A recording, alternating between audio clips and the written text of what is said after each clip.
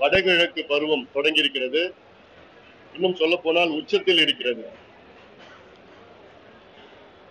ஆனால் இதற்கேற்ப முன்னெச்சரிக்கை நடவடிக்கைகள் தமிழக அரசு செய்து முடிக்கவில்லை.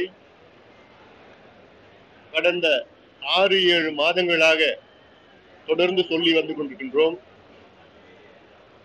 ஒன்று மழை நீர் வடிகால். அடுத்தது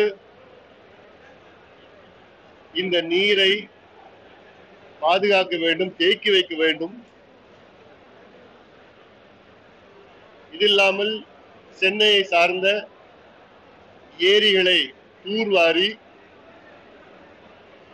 அதிக கொள்ளளவு கொண்ட ஏரிகளாக மாற்ற வேண்டும் என்று பலமுறை சொல்லியும் இன்னும் அந்த வேலைகள் நடக்கவில்லை.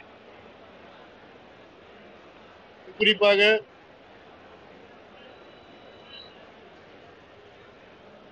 புழல் ஏரி இரட்டேரி போரூர் ஏரி. இதில் அதிக அளவில் கழிவுகள் கலக்கப்பட்டு கொண்டிருக்கின்றன. இதை தடுத்து நிறுத்த வேண்டும். பாட்டாளி மக்கள் கட்சி நீண்ட நாளுடைய கோரிக்கை சென்னைக்கு புதிதாக ஒரு பத்து ஏரிகளை உருவாக்க வேண்டும். இந்த ஏரிகள் சென்னையிலிருந்து ஐம்பது கிலோமீட்டர் அல்லது நூறு கிலோமீட்டர் தொலைவிலும் இருக்கலாம். சொல்ல போனால் செங்கல்பட்டு மதுராந்தகம் உத்தரமேரூர் பகுதி காஞ்சிபுரம் பகுதி கும்மிடிப்பூண்டி பகுதி நீஞ்சூர் இந்த பகுதிகளில் ஏரிகளை புதியதாக அதாவது ஒரு ஏரி ஒரு டிஎம்சி நீர் கொள்ளளவு கொண்ட ஏரிகளாக அதை உருவாக்க வேண்டும். We have to create lakes அப்படி பத்து ஏரிகளை உருவாக்கி பத்து டிஎம்சி கொள்ளளவு கொண்ட அந்த கெப்பாசிட்டியை உருவாக்க வேண்டும்.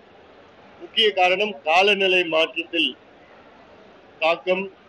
இப்பொழுது நமக்கு மழை பெய்து கொண்டிருக்கிறது.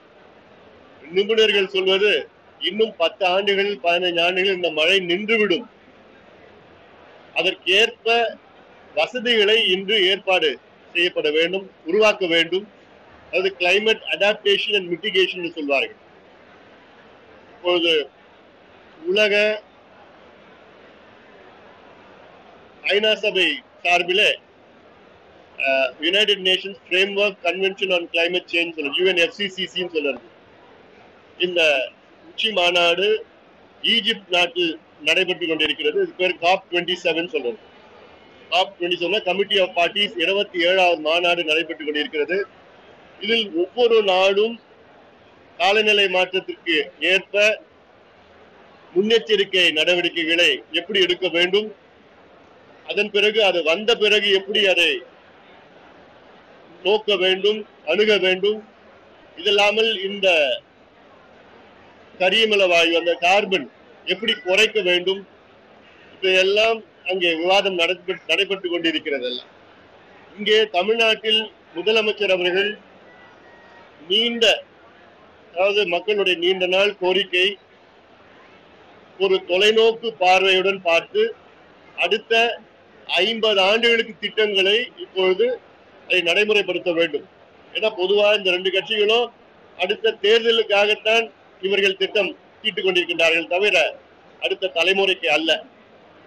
இதை முதலமைச்சர் அவர்கள் சிறப்பு கவனம் எடுத்து கொள்ள வேண்டும். மதுரவாயில் துறைமுகம் சென்னை மதுரவாயில் துறைமுகம் அந்த மேம்பாலம் இருந்த பத்து ஆண்டுகளாக நிலுவையில் இருக்கிறது. அது என்னென்னோ காரணமோ சொல்லி இன்னைக்கு வந்து அதை உடனடியாக அதை தொடங்கி அதை முடிக்க வேண்டும்.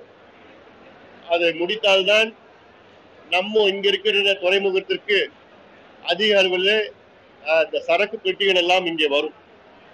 இல்லைன்னா இந்த கிருஷ்ணாபுரம் கிருஷ்ணாபட்டினம் ஆந்திராவுக்கு தான் எல்லாமே தொழிற்பேட்டை எல்லாம் அங்கே போயிட்டு இருக்கு. இங்கே இல்லாத காரணத்தால் தான் இந்த சாலை இல்லாத காரணத்தால் தான் நமக்கு இன்னும் தொழிற்சாலைகள் இன்னும் அதிக அளவில் இங்கே வர தயங்கி கொண்டிருக்கின்றார்கள். இல்லாமல் சென்னை மெட்ரோ ரயில் வந்து ஆவடி வரைக்கும் அதை நீட்டிக்க வேண்டும். ஆவடி சமீபத்திலே மாநகராட்சியாக அறிவிக்கப்பட்டிருக்கிறது. ஆனாலும் எந்த ஒரு கட்டுமானங்கள் இல்லை. அடிப்படை கட்டுமானங்கள் இல்லை. அதாவது ஒரு கார்பரேஷனா உருவாக்குவதற்கு எந்த ஒரு இன்னும் இன்ஃப்ராஸ்ட்ரக்சர் இன்னும் அங்க அதை கொண்டு வரவில்லை.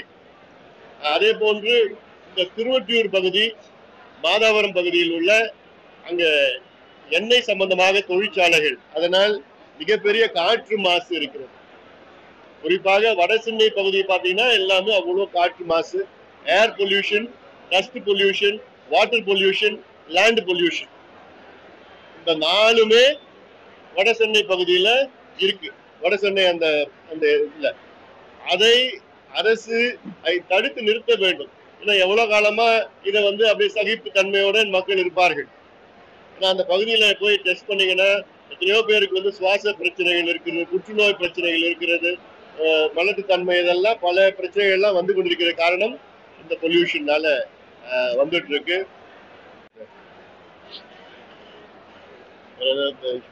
இந்த பகுதியில்? அப்புறம் இந்த கொசஸ்தலை ஆத்துல அது தடுப்பணை ஒரு ஒரு ஐந்து கிலோமீட்டர்ல தடுப்பணை கட்ட வேண்டும். அது இல்லாமல் சில தடுப்பணைகள் உடைந்து பத்து ஆண்டுகள் கூட ஆகிறது ஆனா அதுக்கு இன்னும் அது சரி செய்யவில்லை. சமீபத்துல வந்து திருவாலங்காடு பக்கத்தில் ஒரு தடுப்பணை பதினெட்டு கோடி ரூபாயில கட்டிட்டு இருக்காங்க. அது தொண்ணூறு விழுக்காடு வேலைகள் முடிஞ்சிருச்சு. ஆனா இப்போ இந்த பெய்த மழையில பார்த்தா அது உடஞ்சி போச்சு. அது பாதா அம்பத்தூர் பாதாள சாக்கடை பத்து வருஷம் இல்ல. அடுத்த இருபது வருஷம் முப்பது வருஷம் ஆனாலும் நம்ம முடிக்க மாட்டோம் முடிக்க போறது அதனால இதையெல்லாம் அரசு சிறப்பு கவனம் எடுத்து அதை நடைமுறைப்படுத்த வேண்டும். காவிரி டெல்டா பகுதியில் இப்போ கடுமையான மழையினால அங்கே பயிரெல்லாம் மூழ்கி இருக்கிறது அதற்கு அஹ், நட்ட ஈடாக அரசு உடனடியாக விவசாயிகளுக்கு விவசாயிகளுக்கு நட்டீடு கொடுக்க வேண்டும். பயிர் காப்பீடு அங்க தொகையில சில விவசாயிகளுக்கு வந்து ஒரு ரூபாய் மூணு ரூபாய் அஞ்சு ரூபாய்லாம் கொடுத்துருக்குறாங்க. விவசாயிகளை வந்து அது வந்து அவமானப்படுத்த செய்யல அது. அதனால அதெல்லாம் ஒரு கருணை உள்ளத்தோடு அரசு விவசாயிகளை அணுகி அவர்களுக்கு இந்த நேரத்திலே மிகப்பெரிய உதவிகளை அரசு செய்ய செய்துள்ளது. கேள்வியில் என்ன இருக்கா?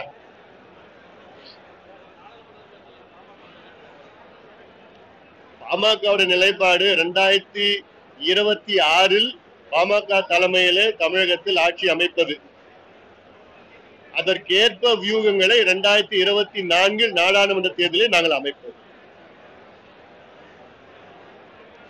அப்புறம் வந்து ஆளுநர் அவர்கள் இந்த ஆன்லைன் கேம்லிங் சம்பந்தமா தமிழக சட்டமன்றத்திலே சட்ட மசோதா நிறைவேற்றப்பட்டிருக்கிறது.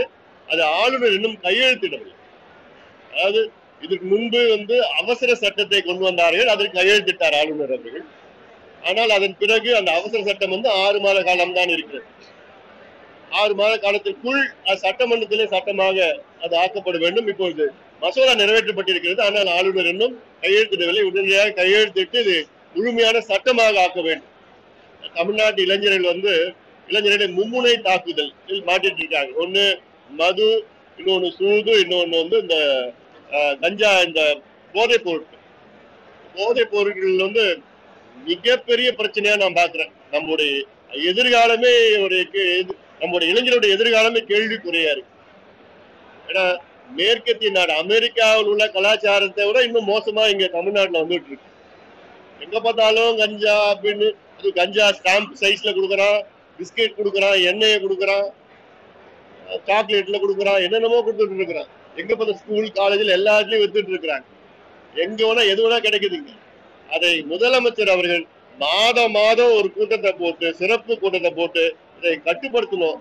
இது தடுக்கிறதுக்கு கஷ்டம்னா கட்டுப்படுத்தலாம். ஏன்னா இதுல ஏன்னா இப்ப பிடிக்கிறது வந்து பார்த்தா விக்கிறவங்க தான் பிடிக்கிறாங்க. அதுல யார் சப்ளை பண்றா எங்க இருந்து வருது எல்லாம் கண்டுபிடிக்கணும். எல்லாம் போதுமான காவலர்கள் இதுல இல்ல. தொடர்ந்து சொல்லிட்டு வர இருபதாயிரம் காவலர்கள் இதுக்கு தேவை. ஆனா வேற எதுலயோ எத்- இதுல நிச்சயமா குறை வைக்க கூடாது. ஏன்னா இது நம்முடைய இளைஞருடைய எதிர்காலம் இது.